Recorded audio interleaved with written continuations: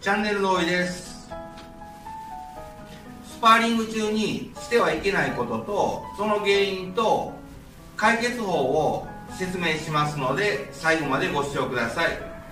チャンネル登録の方もよろしくお願いします。まずはしてはいけないことを説明していきます。よく初心者の人がやりがちで体格は良くてすごい運動神経がいい人でもいざスパーリングとなった場合になってしまう一番多いのが、え目をつぶることです。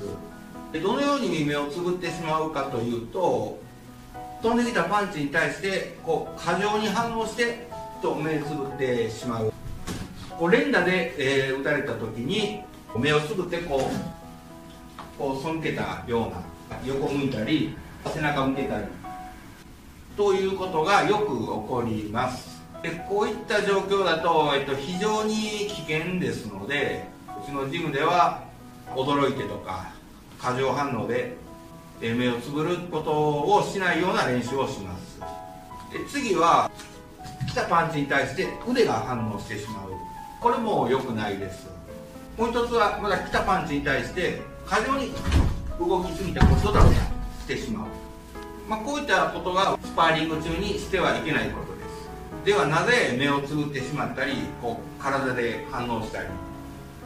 ドタバタしてしまうのかというとその多くの方が線や点で見てしまっています。どのようなことかと言いますともうこのこうやった時におそらくここだけ集中して見てしまうとか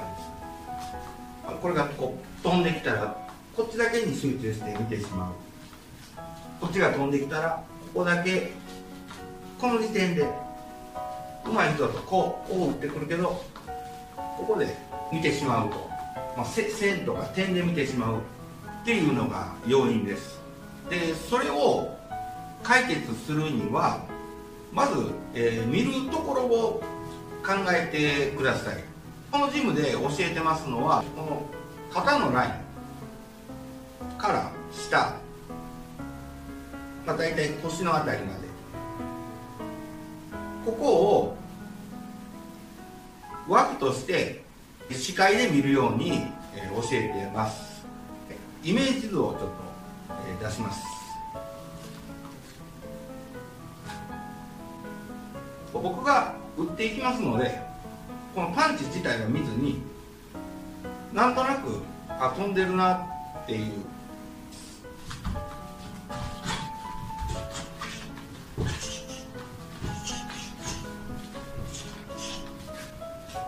漢字を見ずに、え枠で見てもらえれば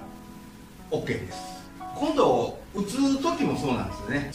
相手の打ちたいところここっていうところをもう見ちゃってしまって打とうとしちゃうんで次の反応がしにくいとかまた目をつぶってしまうっていうことになるんです。打つ時も一緒ですね。先ほど言ったこの肩のラインから腰あたりをこう見ててこの状態で顔がここら辺にあるって分かってても顔を見てこう打つのではなくてもうこのままこのまま打ちます。最初の方はまず枠で見てパンチとかに慣れてください。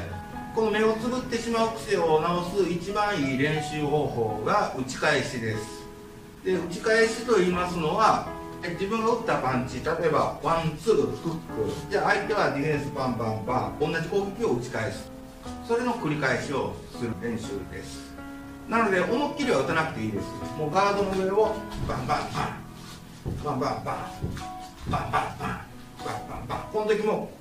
こういちいち打つとこをこういうふうに見ないこうこう見ないこう見てきたらこうしなくバンバンバンバンバンバンバンバンバン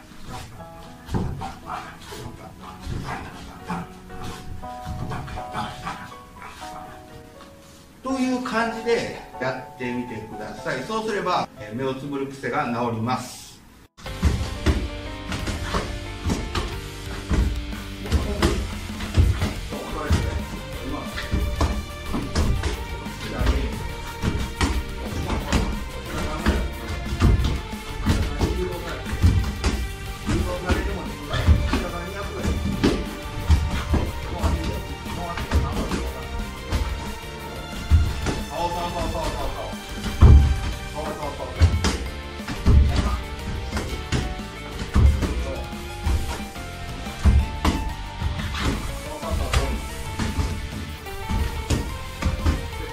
시작.